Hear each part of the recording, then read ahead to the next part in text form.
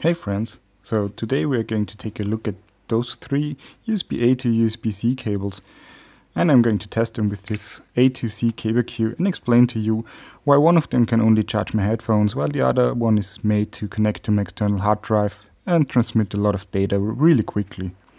So first let's start with this one that came with the headphones. It is a really cheap one and you can feel that the cable itself is really thin.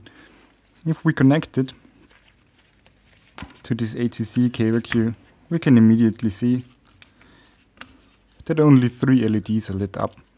If we take a closer look at it, we can see that the supply voltage and the ground is connected, which means that on this side it's basically just a power source. On the USB-C side, there is the DFP, the power source connected, which means that on this side it's considered a downstream facing port and the connect devices connected to this end are going to be charged only.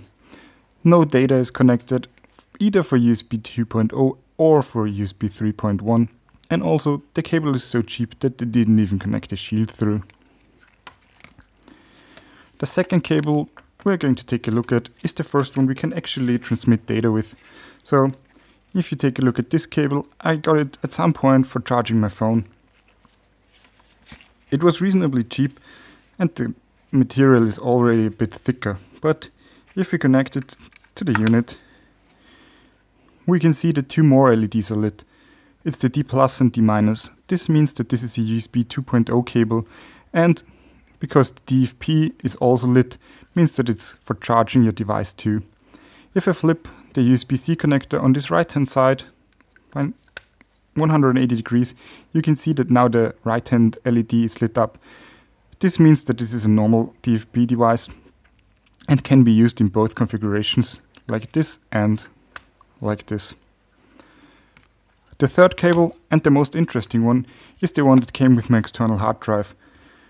This one already feels really bulky and you can see that it's a bit of a higher end cable.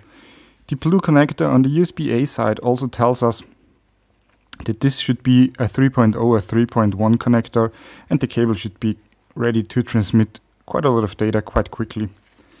If we connect it to the unit, we can see that all the LEDs are lit. This means that all the USB 3.1 LEDs are lit, so it's not broken, it's still perfectly working.